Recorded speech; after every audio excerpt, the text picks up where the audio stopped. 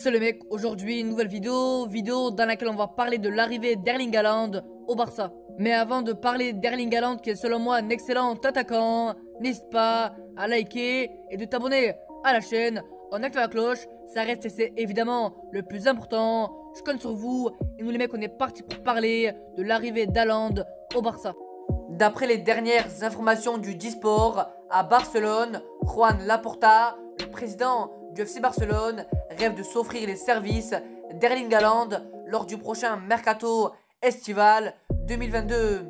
Un dossier qui sera toutefois complexe pour les Blaugrana qui étudieraient alors d'autres options pour se consoler au cas où le Norvégien Haaland ne serait pas recruté. Très actif sur le marché hivernal avec les arrivées combinées de Ferran Torres, Adama Traoré et Pierre-Emerick Aubameyang, le FC Barcelone n'est pas encore rassasié. Cet été, le club catalan vise encore un attaquant ayant de taille, Erling Haaland.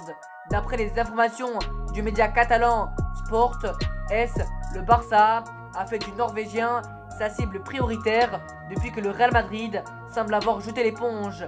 Mais pour s'offrir le cyborg du Borussia Dortmund, Erling Haaland, le club barcelonais devra trouver entre 75 et 90 millions d'euros pour lever sa clause libératoire, auquel j'ajouteront au moins 40 millions d'euros supplémentaires pour couvrir le salaire du joueur la première année et les primes à la signature. Un montant colossal qui ne semble pas perturber Juan Laporta et son équipe du Barça.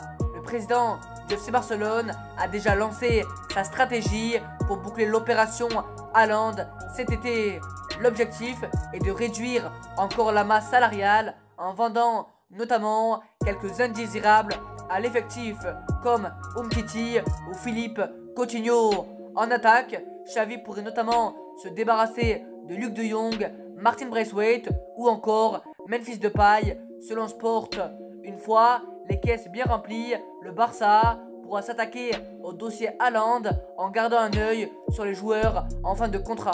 Voici en tout cas pour cette vidéo, j'espère qu'elle vous aura plu. Évidemment, dis-moi ton avis en commentaire. Est-ce que l'arrivée d'Erling Haaland à Barcelone est vraiment une bonne idée? En tout cas les gars, n'hésitez surtout pas à liker et de vous abonner avec la cloche. Ça reste et c'est logiquement, c'est évidemment le plus important. Je compte sur vous. J'ai envie de voir la prochaine et salut